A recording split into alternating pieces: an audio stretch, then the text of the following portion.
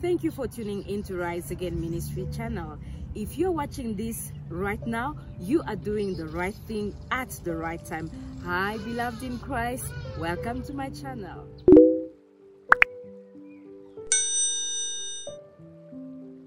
I hope you are keeping well. I am very happy to speak to you today.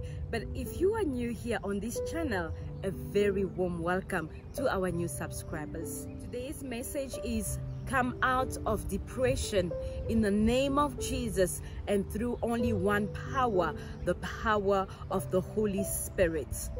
Many people experience depression at some point in their lives. It can happen when you experience a sudden loss of a person that you love the most or your one member of your family or if you receive a sad news or a report from a doctor or a sudden change all those things can cause you to experience a feeling of depression there are many ways that people choose to deal with depression. Some talk to a therapist, some decide to exercise a little bit more, some turn to speak to a family member or to friends, but the best way is to speak to the Almighty God, our Creator, the maker of heaven and earth, the maker of your hearts. Bible is a source of inspiration for many.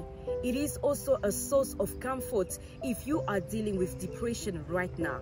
You may think this message does not concern you, but if you know somebody around you, somebody in your family that is suffering with depression, kindly share this message to the person. Let's help the community of God to come out of depression in the name of Jesus through the power of the Holy Spirit. So what is depression? Depression. Depression is a mood disorder that causes a persistent feeling of sadness or loss of interest in life. It can affect the way you feel, the way you think, the way you behave, and it can lead to a variety of so many emotional and physical problems. Depression isn't something that you can entertain because it can cause you to fail to do even the day-to-day -day activities and make you feel like life isn't worth living. Yet life is a beautiful gift from above. Depression is not a weakness that you can simply snap out of it. It can require a long-term medication or treatment, but the good news is God has a solution for your depression. What are the symptoms of depression?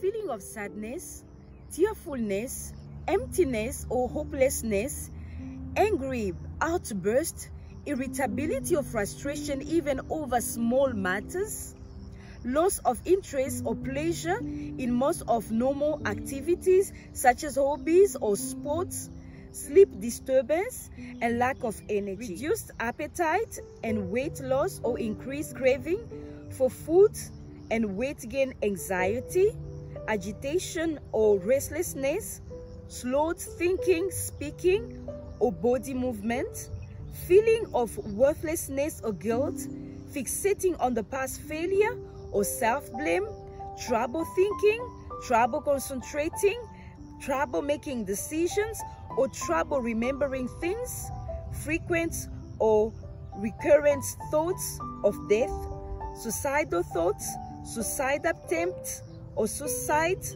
unexplained physical problem such as back pain or headache. Some people may generally feel so miserable and unhappy without even knowing why. And there is a line called emergency line and the number is 911. But the Bible offers a better emergency line. It is Psalm 91 verse 1. It is a 911 for the Bible. What does it say? The Bible says in the emergency line 91 verse 1 psalm 91 verse 1 it says he who dwells in the shelter of the most high will abide in the shadow of the Almighty. Amen. So while depression can make you feel sad and make you feel like life is not worth living, God is there for you. He is never gonna leave you. He is never gonna forsake you. He's not going anywhere. He is there for you. The best way to help yourself to come out of depression, it is to meditate number one upon the word of God day and night, and especially focusing on these words that is spoken in the book of Philippians chapter 4 verse 8. The Bible says, finally brothers and sisters, whatever is true, whatever is noble, whatever is right, whatever is pure, whatever is lovely, whatever is admirable, if anything is excellent or praiseworthy, think about such thing. Jesus knows that you will experience difficult times. And so he warned us already in the scripture that in this world we will have trouble. But we must take heart. He has overcome the world. Our Lord Jesus Christ overcame the world for us. He overcame the world for you. He overcame already depression for you. At the cross of Calvary, when he said it is done, the depression also was taken care of at the cross of Calvary. So be encouraged, my sister. Be encouraged, my brother, and come out of that depression in the name of Jesus.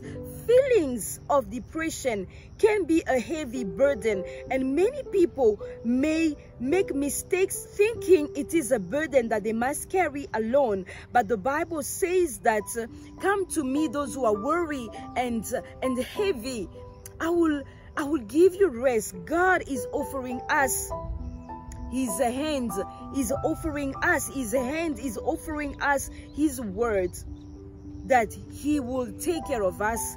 He will take care of our burdens. He will provide relief. When you are struggling with depression it can be difficult to understand why you are feeling certain emotions. But the verse that I'm going to read now remind you that the way forward is to trust the Lord so that he may provide guidance for you. Things will work out for you. Things will be better again. Trust in the Lord with all your heart. Do not lean on your own understanding. In all your ways, acknowledge him. He will direct your path. There is no sure way to prevent depression.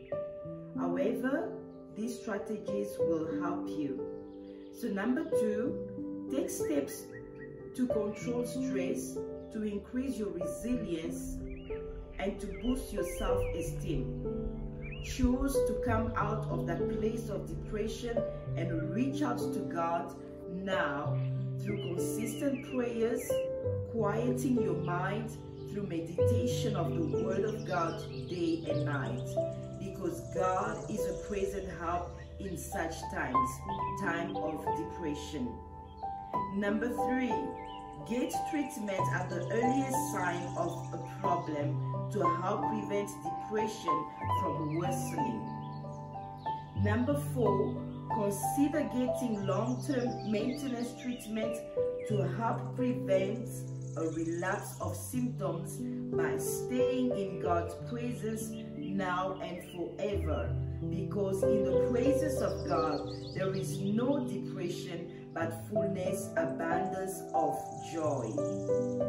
Until I speak with you once again, take care of yourself and decide now to come out of depression in the name of Jesus through the power of the Holy Spirit. And remember these words you can do all things through Christ who strengthens you. May the Lord bless you. Amen.